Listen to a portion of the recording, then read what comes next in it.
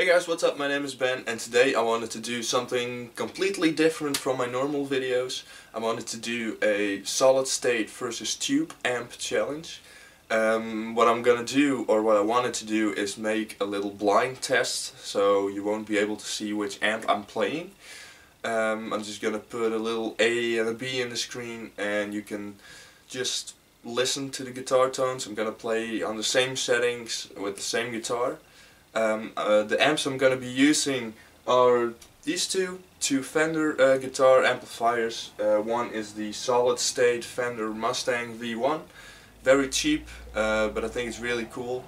Um, a lot of people don't like uh, solid state amplifiers, um, and I really don't know why, because they have well tons of advantages. Um, they're cheap, or or cheaper at least. Um, they don't need maintenance. Um, they sound, well, I don't know. They sound a bit more clean, crispy. Um, but the tube amps are, of course, a lot more uh, warm and they sound more alive. So uh, these are the two I'm gonna use. This is the Fender Mustang, which is a solid state. It's a 20 watt amp, and this is the Fender Superchamp X2, which is a full tube amp. Um, both have pretty much the same stuff, uh, the same effects.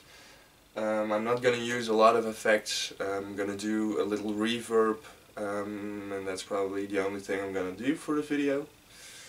So yeah, it's gonna be uh, pretty cool, I guess. Um, if you want to take a guess which amp is which, or uh, which sound uh, matches which amp, you can leave a comment in the description below, or in the comment section below.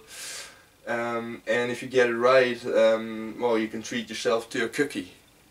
And if you don't get it right, it's even cooler because then you dig both tones. But uh, you know, listen with an open mind and uh, just uh, listen to the tones you dig, and don't be uh, judgmental.